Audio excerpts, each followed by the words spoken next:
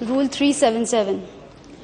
There has been constant demand for rail link from commuter and vendor from all the areas of my parliamentary constituency Arambagh district Hooghly regarding a new, new railway line from Arambagh to Bardhaman covering two districts of Hooghly and Bardhaman.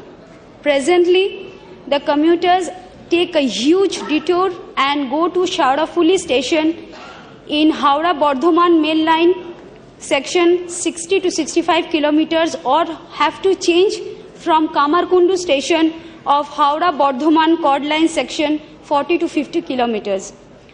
The link station in the chord section is too high and poses a problem to elderly person and the vendors to change from Bardhaman route. The people of my constituency is wholly dependent upon the agricultural products and need easy marketing access along avoiding hazardous road journey. I would therefore urge the rail minister to immediate undertake the survey and construction of Arambagh Bardhaman new link line which would, would be a great help to the people of my constituency. Thank you.